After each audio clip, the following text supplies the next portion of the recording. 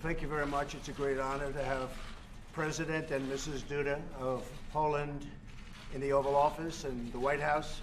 Uh, we've had a great relationship. As you know, about a year ago, I went and we made a speech in Poland, and uh, it was really a very special day. It was a great day for our countries. And I'll never forget the reception we got, how beautiful it was, how tremendous the people of Poland are.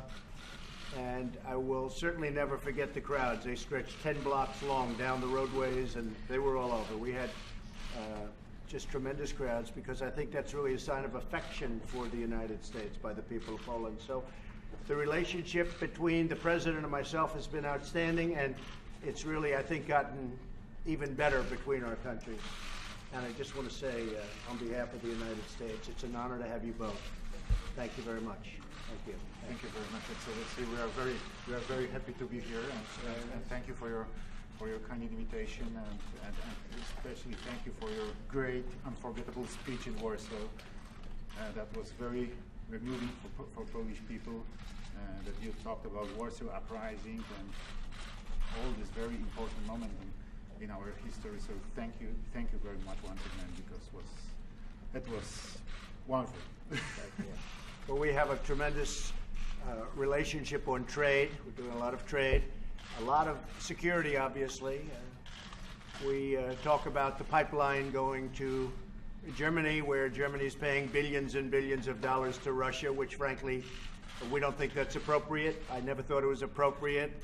I think it's ridiculous, and I think it's certainly a very bad thing for the people of Germany. I've said it very loud and clear. Uh, but we discuss uh, that and we'll be discussing various other things. But trade is going to be a big factor today and security. So I want to thank you all for being here. Thank you. Thank you. Mr. President, will you say yes to U.S. permanent base Poland? Well, I think we're going to be discussing that. Uh, Poland is willing to make a very major contribution for the United States to come in and have uh, a presence in Poland. And certainly it's something we'll discuss. Uh, if they're willing to do that, it's something we will certainly talk about. Are you convinced about that, sir? Are you convinced that there should be a permanent base in Poland? Well, we're looking at it very seriously. I know Poland likes the idea very much, and it's something that we are considering. Yes. Well, there was How long of a delay is accepted? Sixty-seven billion in tariffs, the additional two hundred sixty-seven. So we're having a tremendous impact on China. Uh, it's, you know, we're doing a very good job with China. China's been taking advantage of the United States for a long time, and that's not happening anymore. We can't let that happen. I have a great relationship with President Xi. He's a friend of mine, but we can't, uh, you know, I've been telling him we can't let it happen. So we may make a deal at some point, but right now uh, we just imposed $200 billion at 25 percent uh, we, uh, it just went on. It actually kicks in on January 1st to 25%. It starts off at 10%, but shortly thereafter goes to 25. And if there's a retaliation against our farmers and our industrial workers, our ranchers, if any of that goes on, we're going to kick in another 257 billion dollars, uh, and that'll be also at 25 percent, which we don't want to do, but we probably will have no choice. So we'll see what happens, but uh, we're making a lot of headway with China. China wants to come over and talk, and we are always open to talking. But we have to do something. We have a tremendous trade imbalance with China, tremendous trade deficit. And the way I look at it, last year we lost over $500 billion to China. We can't do that. I don't want to do that. And uh, that's been going on for many years. Other presidents should have taken care of the situation, and they didn't, but I'm going to. Yes. President, what about the sanctions on uh, companies involved in Nord Stream 2, Russia and Germany project? We're not looking to do that. We just think it's uh, very unfortunate for the people of Germany that Germany is paying billions and billions of dollars a year for their energy to Russia. And I can tell you the German people don't like it. Mr. President, on the uh, visa waiver program for Poland. We're looking at that very strongly. Mr. We're looking how at that. the delay is acceptable? President, there are 10, 10 million Polish Americans in the United States. We're- Say it. I can't hear you. There are about 10 million Polish Americans in the United States. Yeah. We were in Chicago two years ago, a great meeting. So when are you coming to Chicago? Did you say it was cut off? It was cut off? What, what is he referring to, Mr. President? We love the people of Poland coming to the United States in any way, shape, or form. Okay, does that answer your question? Any way, shape, or form. It's our honor. Mr. President, how long of a delay is acceptable, sir, on the uh, hearings for Judge Kavanaugh? There's some discussion that the Well- accuser may not be coming in on Monday. How long of a delay? I, I mean, I think it's a great question, frankly. Uh, we are looking to get this done as quickly as possible. He is a truly outstanding person, as you know. He's got an unblemished record. Uh, this is a terrible thing that took place, and it's frankly a terrible thing that this information wasn't given to us a long time ago, months ago, when they got it. They could have done that instead of waiting till everything was finished and then all of a sudden spring it. But that's what the Democrats do. That's what they do. It's obstruction, it's resist, it's whatever you have to do. Uh, with all of that being said, uh, it's a process, and we all feel, speaking for all of the Republicans, we feel that we want to go through this process and we want to give everybody a chance to say what they have to say. So we have time available. We will delay the process until it's finished out. I guess we've invited everybody. I know I can tell you this that uh, Judge Kavanaugh is anxious to do it. I don't know about the other party, but Judge Kavanaugh is very anxious to do it. And a delay is certainly acceptable. We want to get to the bottom of everything. We want everybody to be able to speak up and to speak out. The fact is, though, this should have been done a long time ago. And when Senator Feinstein uh, had uh, Judge Kavanaugh in her office for a long time, she never even mentioned this. And that was a long time ago. Never even mentioned it. So why wouldn't you bring this up when he is sitting in her office for a pretty extended period of time? So it's unfortunate. He is an incredible man. He's an incredible intellect. Uh, he will make an incredible Supreme Court justice, but we feel that we want to go through a process. Uh, we want to hear both sides. Will you ask the FBI to open its file? Will you ask the FBI to open its file? How important is it? I don't think the FBI really should be involved because they don't want to be involved. If they wanted to be, I would certainly uh, do that. But as you know, they say this is not really their thing. But I think politically speaking, uh, the senators will do a very good job. They really will. They're going to open it up, and they will do a very good job. Do this all politics. How important is it to you, security of Poland? Oh, very important. Security of Poland, to me, almost as important as it is to this man. I, I can't say as, For me, it's the most almost. important, and I hope that we will build Fort Trump in Poland together, Mr. President. You know what? Uh, it's very important to me. Extremely important. They're very special people. It's a very special country. It's a very brave country.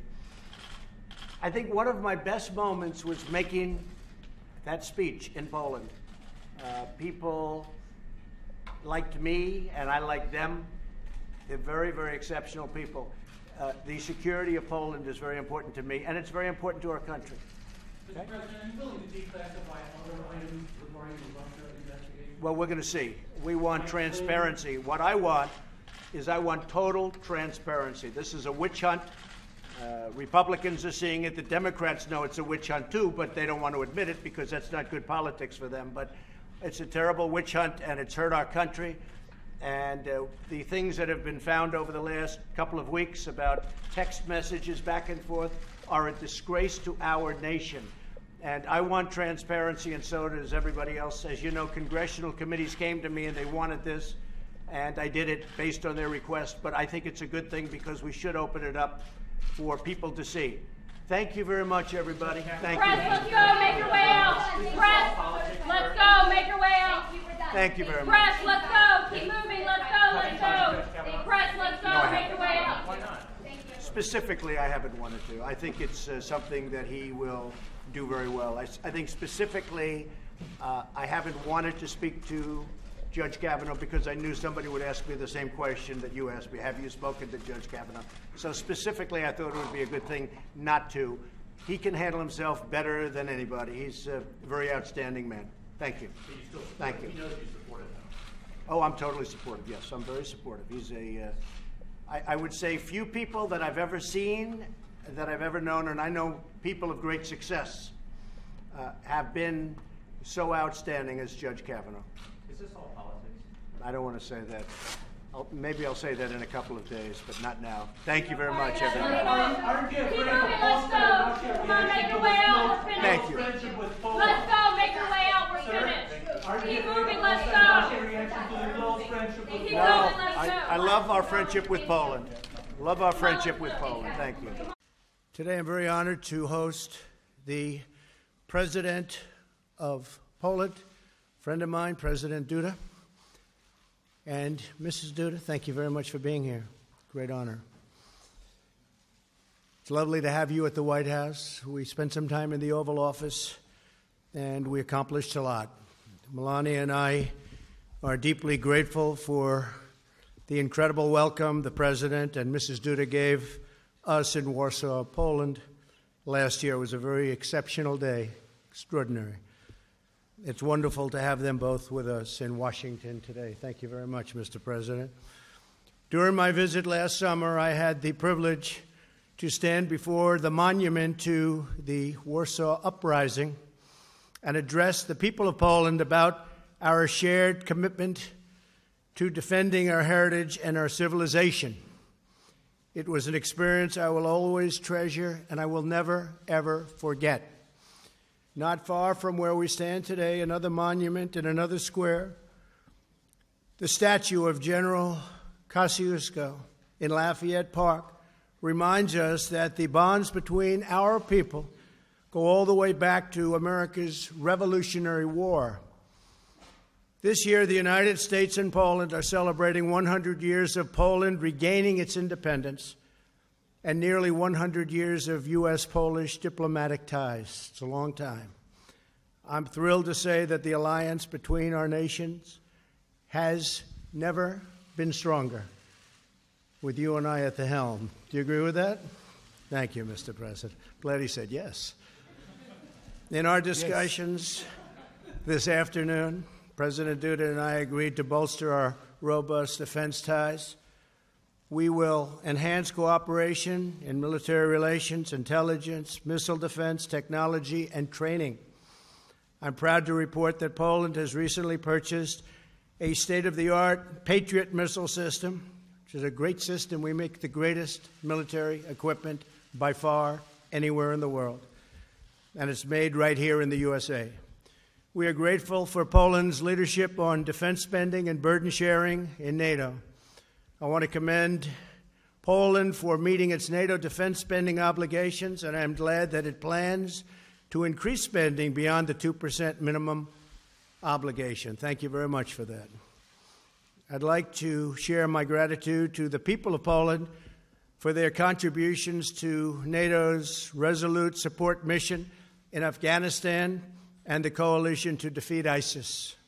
We've made tremendous progress with respect to the defeat of ISIS, as you've seen. We also understand that you can't have national security without border security. Both Poland and the United States understand that strong nations must have very strong borders. The President and I likewise are exploring opportunities to advance energy security. The United States and Poland are deeply committed to energy diversity all across Europe. No nation should be dependent upon a single foreign supplier of energy. Poland has worked tirelessly to increase energy independence nationally and across Central Europe. It is constructing a new pipeline, the highest technology, from Norway to Poland, and it recently built a liquefied natural gas import facility. Last year, the United States was proud to send its first export of LNG to Poland, and soon our nations will launch a high level diplomatic exchange on energy security. And, Mr. President, we are now, as of a few months ago, the largest producer of energy in the world. So that was that's a big statement. President Duda, I also uh, just want to uh, talk to you about the Three Seas Summit, where Central European leaders were working hard to increase energy market access, reduce energy trade barriers, which is something we have to get done with respect to the European Union. The trade barriers, they make it very difficult for the United States and to strengthen energy independence. The United States firmly supports these goals, and we are eager to expand commercial ties all across the region of Europe. In our meeting today, the President and I discussed our bilateral economic relationship at length. Poland has experienced more than a quarter of a century of uninterrupted economic growth, which is a very big statement. Very few can say that. And we look forward to further enhancing trade, investment, and commerce between our two great nations. My administration is committed to realizing a future of prosperity and opportunity for all Americans. This month, we celebrated the highest employment level in U.S. history. We are right now employing more people, we have more workers in the United States than at any time ever in U.S. history. I look forward to partnering with President Duda as we grow our economies together. Mr. President, thank you for joining me today. Poland has chosen its place among the free and independent nations of the world and is a loyal ally and strategic partner of the United States, and we greatly appreciate that. We welcome the next 100 years of friendship between our two nations. Mr. President, thank you very much. Thank you.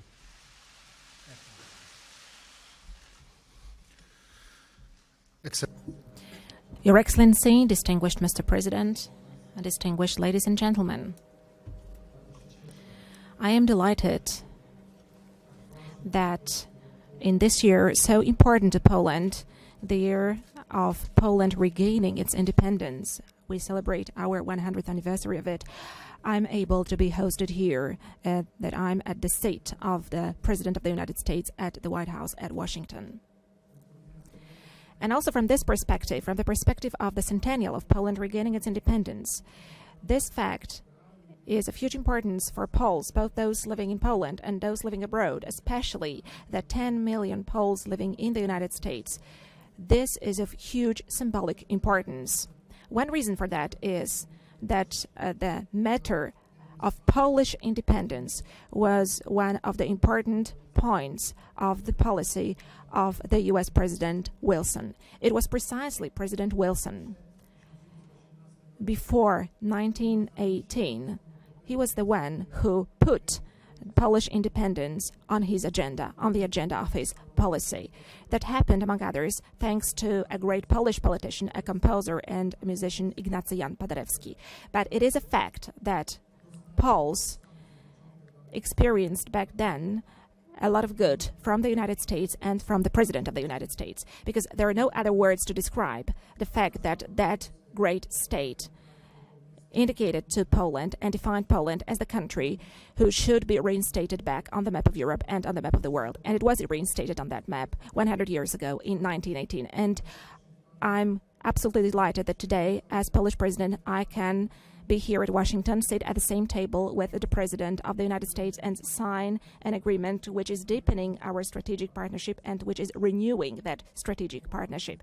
I'm talking here about the agreement on the strategic partnership. Such agreement was signed in 2008 between two our countries. Back then, it was signed by the ministers of foreign affairs, and today, this renewed version. The version which has been updated because a lot has changed over the 10 years. This renewed version of the strategic partnership was signed personally by myself and President Donald Trump, and I would like to express my deep gratitude to you, Mr. President, for that fact. This agreement indicates the most important aspects of our cooperation and our friendship. It also sets new paths for the future. The paths of tightening our defense cooperation, military cooperation, tightening our cooperation in the area of security and energy business, tightening our cooperation in the broadly understood sphere of business, also in the aspect of the already mentioned cooperation as part of the Three Seas initiative, to which Mr. President has just alluded. I came here to Washington right from the summit of the Three Seas initiative, the first business forum organized as part of the Three Seas initiative. The United States was present there as the partner of the Three Seas, and thank you, Mr. President, for that. Thank you for posting your representatives to that meeting. And all the leaders who held their speeches there said in a very clear way about the need and hope for cooperation with the United States of America regarding the renewal and building of a new infrastructure, road infrastructure, railway infrastructure, energy infrastructure, uh, both concerning electricity and the transmission of gas in Central Europe along the north south axis. I'm referring here to the area between the Baltic states through Poland, the Czech Republic, Slovakia, Hungary, Bulgaria, Romania, all the way down to the Black Sea. And then through Croatia and Slovenia to the Adriatic Sea. This is the space in which we want to cooperate. This is the space in which we want to develop. Our cooperation with the United States is of key importance in this respect. Also, as far as providing energy security is concerned. Today, we talked at length about this with Mr. President. We also discussed threats to energy security in Europe to the possible diversification of supplies. Without any doubt, such a huge, biggest threat right now is posed by the construction of Nord Stream 2 gas pipeline. We discussed at length about this with Mr. President. I presented him the situation as it is. Unfortunately, we have to be clear and say that both from the German side and from the Russian side, this construction has already been started. There are still some formalities going on connected with the laying of the pipes at the bottom of the Baltic Sea. However, this investment, without any doubt, threatens energy stability of Europe, and without any doubt, it also threatens Polish energy security because it is a threat. There is a threat of Russian energy domination, especially when Russia mentions that it's going to build more pipelines, Nord Stream 3, Nord Stream 4 this threat of absolute Russian domination in Europe in terms of gas deliveries is obvious. What are the results of such a domination, ladies and gentlemen? We were able to see that ourselves a couple of years ago in Ukraine. Sudden uh, interruption of supplies. Of course, it had nothing to do with economic factors. It was connected only and exclusively with a political blackmail. Was a fact. And it is obvious that today we are making efforts and we are going to go to any lengths to protect ourselves from that. That is why we decided to construct an LNG terminal. That is why we also decided to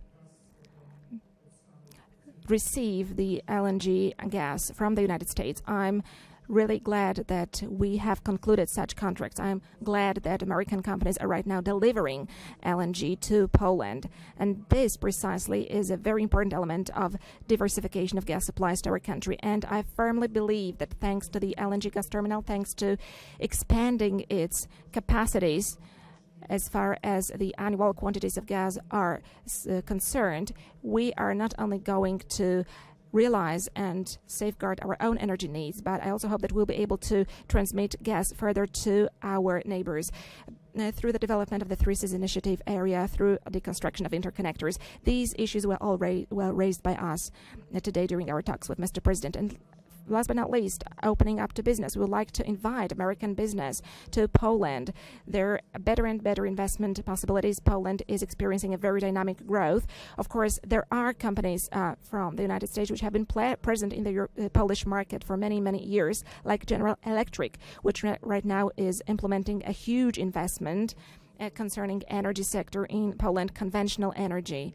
Uh, such as construction of the Ostrołęka 2 uh, plant that is a huge contract amounting to almost $2 billion. These are the huge projects which are all being realized in Poland, but we want to invite to Poland all business people, those who have got huge economic projects here and who have got huge possibilities of investment, but we would also like to invite the smaller ones. Poland is a big European country, country. I believe it is an interesting partner where the United States and the U.S. business is very much welcome, and I want to assure you, ladies and gentlemen, about that. There is also a perspective of developing uh, your activity through Poland to include the Three Seas countries. And this is something that we have been working on as part of the Three Seas initiative. We want to ensure also the communication possibilities, and we also want to increase the opportunities for economic cooperation. We want also business partners from the US to join our projects. There are going to be a lot of communication, uh, traffic related investments in our part of Europe. We would like to invite American businesses to come because I believe that this opens up an opportunity for making joint business. And, ladies and gentlemen, all of that is connected, of course, with the issue of military security. I'm hugely delighted with the presence of U.S. armed forces in the Polish territory. I'm deeply satisfied with the decisions that were taken by Warsaw NATO Summit in 2016, where the presence of uh, the um, military forces of NATO in Poland was guaranteed. I'm also happy that we have in Poland American soldiers as part of our bilateral agreements. But I would like to invite you, Mr. President, to post more American troops to Poland. We believe that the presence of the United States is a guarantor of security in our part of Europe. We ourselves want to invest further. We want to modernize Polish armed forces. Uh, Mr. President um, Trump mentioned uh, the so-called Wisła air defense system uh, that includes the purchase of uh, Patriot missiles. We are implementing the largest military investment so far as far as the Polish armed forces are concerned over the last 30 years. We want to implement more projects. We want to buy more equipment. We also want to cooperate in the area of research and development as regards military technology. And I'm convinced that this cooperation between Poland and the United States will go on smoothly. I hope that Mr. President will make a decision to uh, deploy to Poland more U.S. units uh, together with equipment. Ladies and gentlemen, I was smiling when talking to Mr. President. Uh, I said that I would very much like uh, for us to set up a permanent American basis in Poland, which we would call Fort Trump. And I firmly believe that this is possible. I am convinced that such a decision lies both in the Polish interest as well as in the interest of the United States. Poland is an attractive country, and first and foremost, it's got a very important strategic location in Europe. And I'm convinced that for the interest of the United States, also pertaining to the security of the United States itself, the presence of the U.S. armed forces in our country is important also to protect American interests.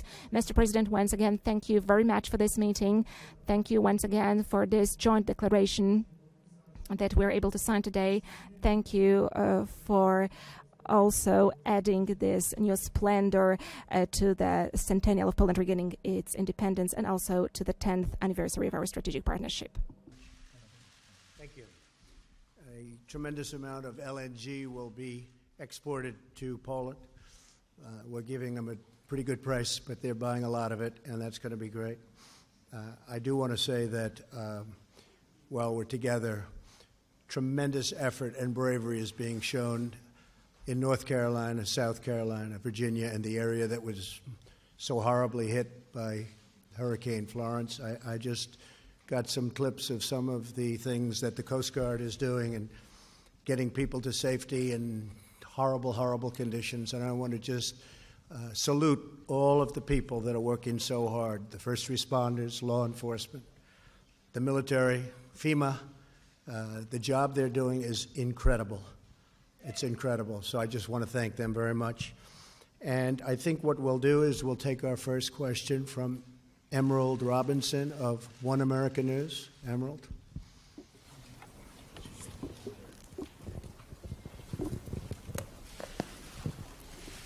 Thank you, Mr. President.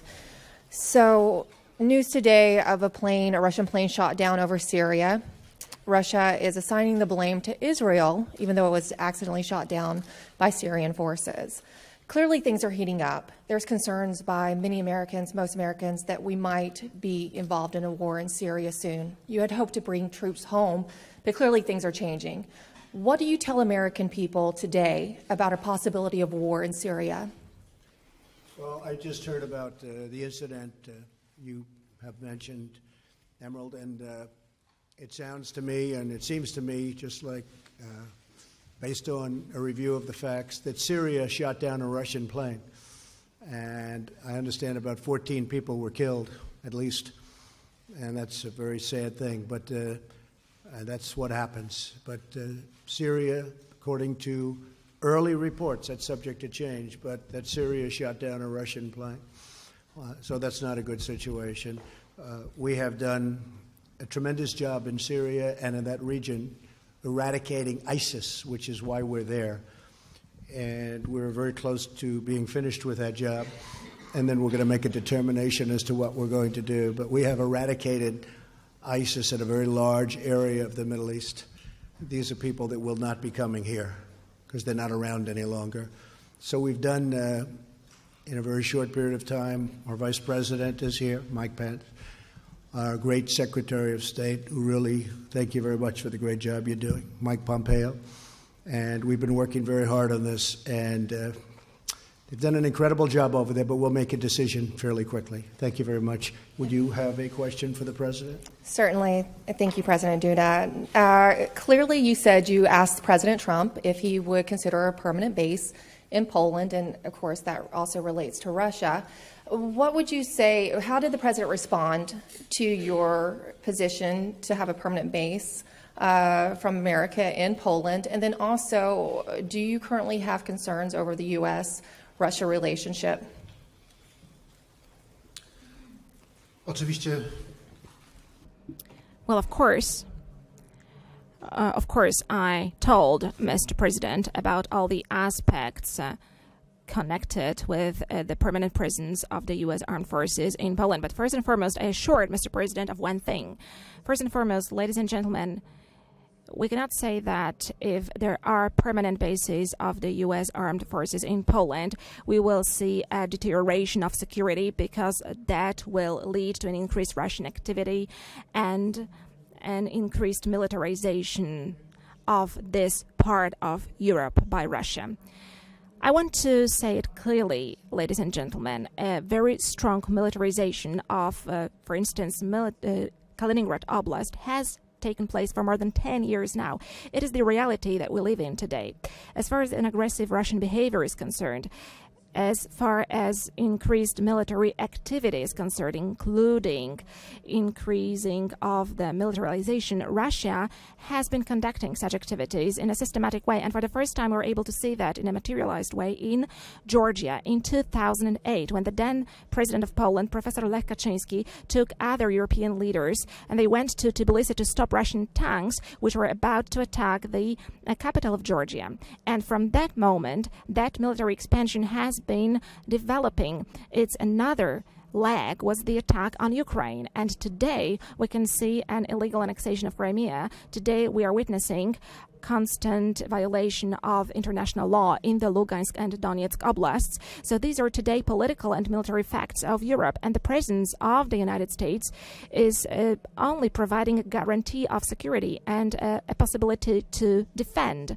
Because let me re- reiterate again, it is only about the guarantee of security and defense of our part of Europe, that is the free world. This is the most crucial issue right now from our perspective, from the perspective of Central and Eastern European countries.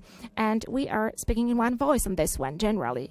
That is why we wanted to ensure the presence of the United States Armed Forces, and also we wanted to have the presence of NATO forces in our part of Europe as well. And of course, Mr. President and his staff, his advisors, and also the Pentagon staff have con- to consider all these issues, but there is a whole range of arguments which are in favor of the fact that the presence of the U.S. armed forces in this area is absolutely justified justified today. That is uh, due to the protection of the interests of the United States as well. So I am absolutely convinced of this one. Because today, unfortunately, we are seeing international law being violated. Today, we are seeing aggressive behaviors, and I am convinced that there is no more effective method of preventing a war than a decisive stance, demonstrating that we are ready any moment to repel a possible attack. And a presence also means deterrence. At the same time, I am convinced that when we are when we have a strong military presence in this part of Europe where there is a potential threat, then there will be no war happening ever. Doubt that the president uh, also said, and he said it publicly, that he would pay the United States, meaning Poland would be paying billions of dollars for a base. And we're looking at that more and more from the standpoint of defending really wealthy countries and not being reimbursed, paid. It's one thing when we defend countries that can't defend themselves and they're great people and we should help them.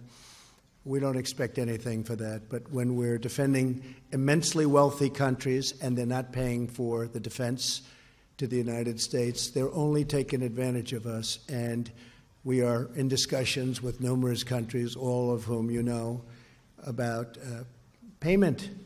Payment. And we get along with them very well, but it's not fair. That includes NATO. Uh, as you know, I got $44 billion additional last year, where they paid an additional. You can speak to um, Secretary General Stoltenberg, who's the head of NATO, and uh, he said he's never seen anything like it. And this year we did even better. But uh, when a country is very wealthy, and when the United States has been protecting them for many years at tremendous cost, cost like nobody in this room would believe, it's time that they help with, we call it burden sharing, and they will do that. But uh, the president offered us much more than $2 billion to do this, and so we're looking at it. We're looking at it from the standpoint of number one, military protection for both countries, and also uh, cost. A term you don't hear too often, and you haven't heard too often over the last 25 years, but that's the way it has to be. Thank you very much. Uh, would you like to have a question, please?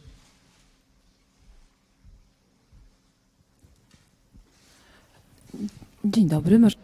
Marzena Kozłowska, Polish Press Agency. I've got a question to President Trump. Do you share the conviction, which we have just heard a minute ago, expressed by President Duda uh, concerning uh, the threat which is posed to the region, but not only to the region, by Russia? And do you also share the view that uh, permanent American bases in Poland are justified not only uh, due to the security of the countries in our region, but also due to the security of the United States? I think it's uh, a very aggressive situation. Uh, I think uh, Russia has acted aggressively. Um, they respect force, they respect strength, as anyone does. And we have the greatest strength in the world, especially now. We were being depleted under the last administration. We had planes that were old and tired and didn't fly in some cases. They were getting used parts. This is the United States. It doesn't happen. We make the greatest planes in the world and missiles in the world.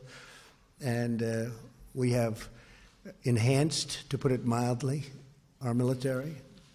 It's literally being rebuilt as we speak with literally hundreds and hundreds of planes and missiles and everything that you can imagine. They never had it so good because I got in Congress $700 billion this year, $716 billion last year. That's far more than they ever anticipated. I viewed it two ways. Number one, military, because it's always more important than anything else, including jobs. But number two is jobs. We make everything here. So it's uh, hundreds of thousands of jobs to make for us the best military in the world. And Russia respects that. They respect that. So uh, I am, I am with the president. I feel that he's right, and I feel that, look, you look at the history of Poland and Russia. That's a long and very complicated history. So certainly has a right to feel that way. Okay. And a question to President Duda. After the meeting that you have had today at the White House, do you have the feeling that the probability that Polish expectations concerning present, uh, permanent American presence in our country are closer to being implemented? Uh, are they going to be a fact?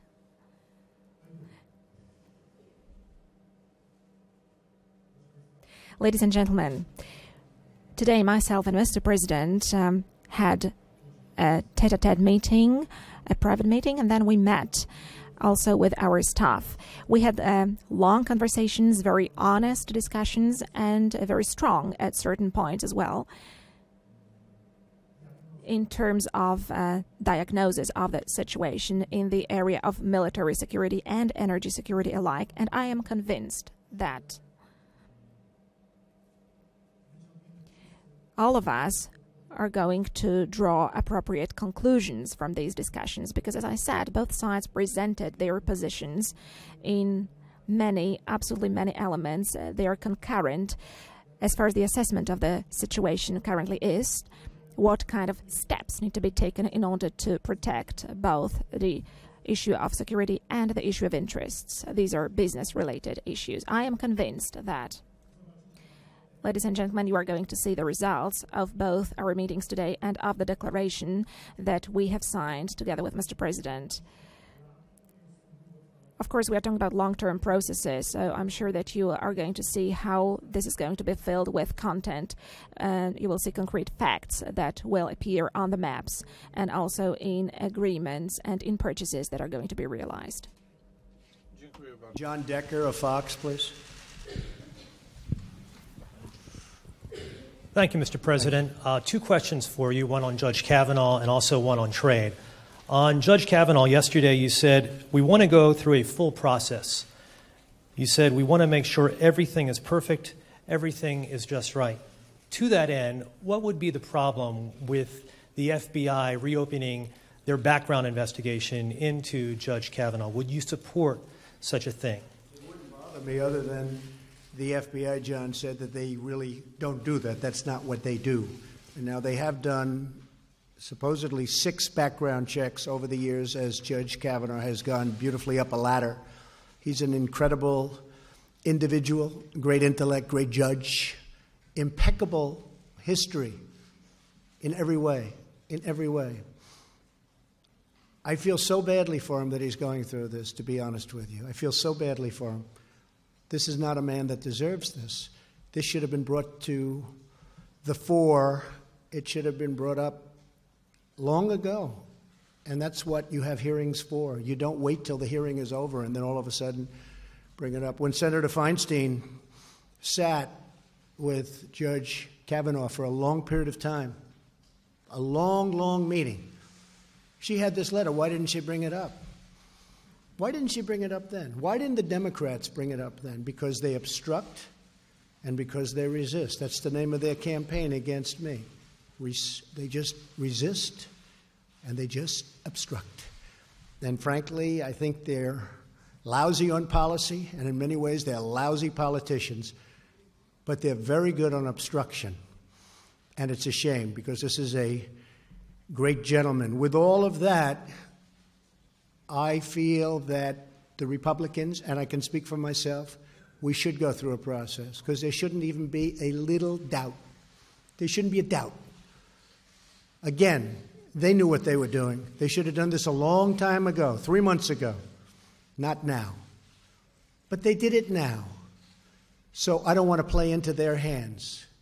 Hopefully, the woman will come forward, state her case he will state his case before representatives of the United States Senate, and then they will vote.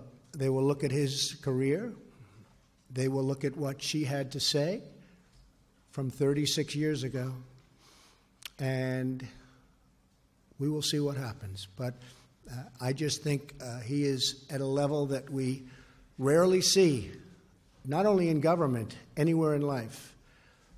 And honestly, I feel terribly for him, for his wife, who is an incredible, lovely woman, and for his beautiful young daughters. I feel terribly for them. On trade, on trade, Mr. President, uh, you announced new trade tariffs against China. Uh, trade tariffs are a very important part of your economic and trade policy. In your first year in office, the U.S. trade deficit increased by 12 percent. And last month we saw the trade deficit increase to, uh, I believe it was $72 billion. So my question to you is Is your trade tariffs policy working? Well, we just started. Uh, we didn't do anything with respect to China because we wanted to have the benefit of China having to do with North Korea. And they have been helpful. I hope they're still helpful. There's a question about that. Uh, but it got to a point where the numbers were too big. This should have been done for the last 20 years. If you look at the WTO, the World Trade Organization, that's when China really happened economically. That's, it was like a rocket ship because they took advantage of the rules of the WTO. And whoever was standing at this podium in this incredible White House, in the Oval Office, they should have done something about this long ago. Uh, over the last number of years, China has taken out of this country $500 billion and more. A year. $500 billion. That would go a long way for Poland, wouldn't it? You could rebuild your whole country. And that's what China did. They rebuilt their country with tremendous amounts of money pouring out of the United States. And I've changed that around. And if you look at what's going on. Our market is going up like a rocket ship. I don't want their market to go down, but their market is down 32% in three months because we can't let them do anymore what they've done. And uh, I watch trade deficits because to me deficits are very important. They're not everything, and they're not exact. Sometimes you can have an, you know, a deficit, and that's not such a bad thing. But when you have $375 billion in trade deficits, and then many billions of dollars in other liabilities of all different types, you have to do something about it. We are the piggy bank to the world. We've been ripped off by China. We've been ripped off by, excuse me, Mr. President, the European Union, of which you're a part of. We've been ripped off by everybody. And I want to protect the American worker, the American farmer, the ranchers, the companies. And we're not being ripped off, you will see in a little while. Speaking of that, we've come to a conclusion with Mexico. We have a wonderful deal for both parties. It was a very one sided deal. Now it's a good deal for both parties, very happy with it. Um, the new president had conversation, and it was uh, terrific. I think we're going to have a very good relationship. We'll see. We'll see. Uh, we want help on the border because we have the worst immigration laws in the history of mankind or womankind. We have horrible, horrible immigration laws, so we want help. But we've come to a conclusion with Mexico. Uh, Canada has taken advantage of our country for a long time. We love Canada. We love it. Love the people of Canada. But uh, they are in a position that's not a good position for Canada. They cannot continue to charge us 300% tariff on dairy products. And that's what they're doing. So, this is a process. It takes a little time. The European Union wouldn't talk to us, they wouldn't talk to President Obama, wouldn't even talk to him. And then I said, That's okay, you don't have to talk to me. Jean Claude is a, a tough man. He's a very good man. I like him, but he's tough. He's nasty. The kind of guy I want negotiating for me. But he's a tough, tough cookie. And I said to him, We have to renegotiate the deal. He said, But Mr. President, we are very happy with the deal. We don't want to negotiate. I said, You may be happy with the deal, but I'm not happy with the deal. And he didn't want to renegotiate. And after three times, he still didn't want to renegotiate. I said, That's okay. We don't have to renegotiate any longer. We're going to put a tariff on all of the millions of cars you send into the United States. And honestly, he was in my office so quickly from Europe that I didn't know they had airplanes that flew that fast. I said, Where did you find this plane? And we have the semblance of a deal because it's to a large extent economically all about cars. Cars is a very big factor, and they send millions of BMWs and Mercedes into our country. So uh, we are working on trade very hard. It's very important to me. It has been for 30 years. I've been saying for 30 years. It started with Japan. I talked about Japan. I was right. I talked about China. I was right. It's what I do, and, and I like doing it, but I like doing it for the people because our country has been abused and taken advantage of by virtually every country that it does business with. And we're just not letting that happen anymore. And that includes what I said previously about the military. Please. President Duda, President Duda, welcome back to the U.S. Uh, as it relates to U.S. EU relations, as the President mentioned, you are a proud, Poland is a proud member of the European Union. How would you describe U.S. EU relations right now? Uh, did you talk about improving that relationship? Did you carry a special uh, message to the President from Mr. Juncker? Szanowny panie redaktorze, bardzo Uh, sir, I would be very happy if it was uh, Poland which would disrupt the trade balance of the United States. I really would be happy if that was the case.